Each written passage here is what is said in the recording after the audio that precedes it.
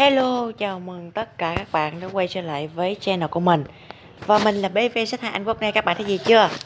Tất cả các plan ở đây là M99 không xăng. Nhưng có nhiều bạn bảo á là nếu chơi M99 không xăng Cho dù là không tiền vĩnh cửu đi chăng nữa Thì chưa chắc đã là một điều à, tuyệt phẩm, à, một điều à, hấp dẫn, một điều thú vị.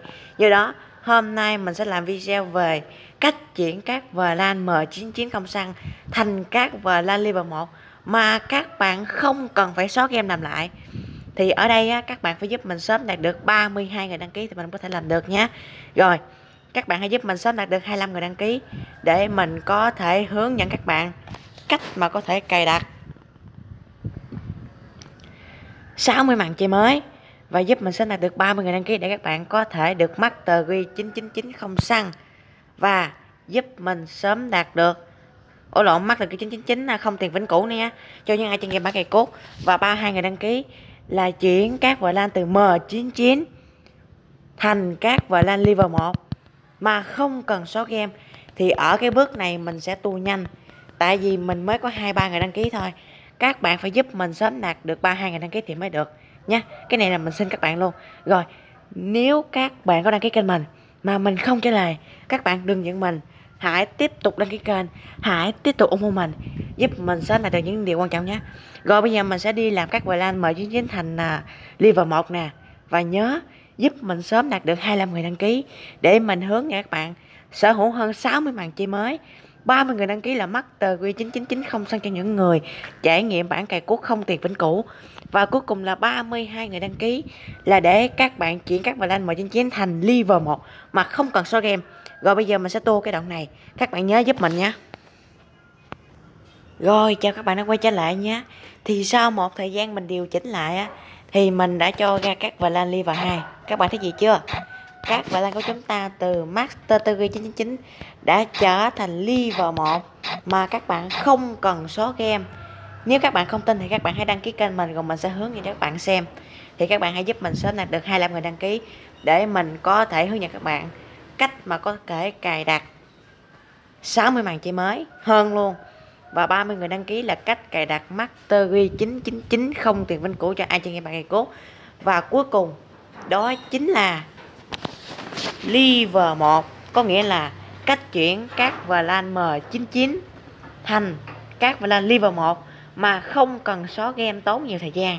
Chỉ cần có một số thủ thuật là sẽ làm thành công. Rồi bây giờ mình sẽ thử nhé ở đây á, thì nó có xăng rồi.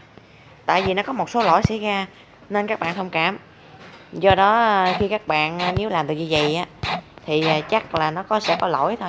Chắc chắn là nó sẽ có lỗi đó, nó có xăng trở lại rồi đó, nên các bạn à, chịu khó nha còn không tiền vĩnh cửu là ở cái bản kia. Rồi. Rồi, bây giờ mình sẽ đi một màn cho các bạn xem nhé.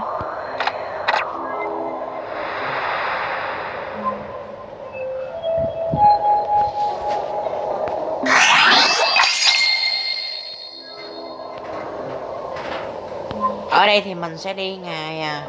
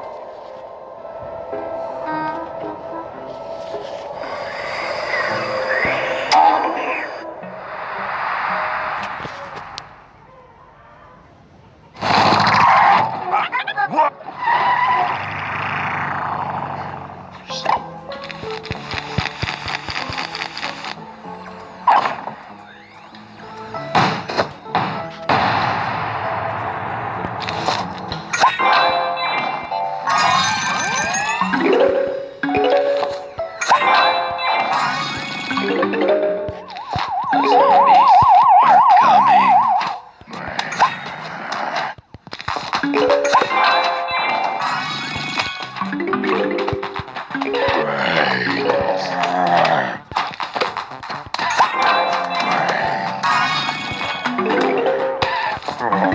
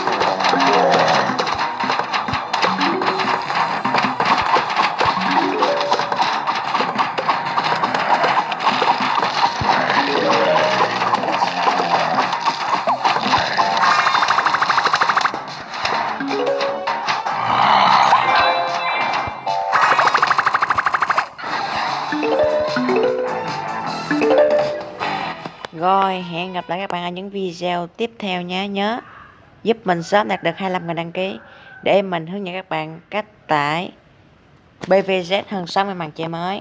Và 30 người đăng ký là Master Q999 không tiền vinh cũ. Và 32 người đăng ký để mình có thể giúp các bạn chuyển các VLAN M99 thành Liver 2 nhé, mà không cần số game.